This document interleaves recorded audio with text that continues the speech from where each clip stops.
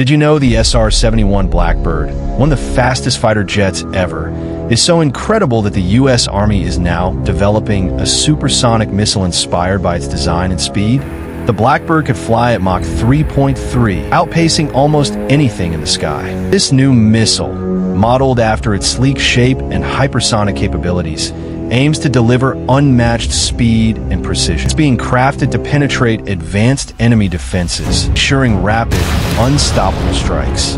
By leveraging the Blackbird's legendary aerodynamics, the Army is pushing the boundaries of modern warfare, creating a game-changing weapon for future conflicts. Unlike traditional missiles that can be intercepted or jammed, this hypersonic system is designed to maneuver at blistering speeds, making it nearly impossible to stop. It reflects a growing shift in military technology, where speed, agility, and stealth dominate the battlefield.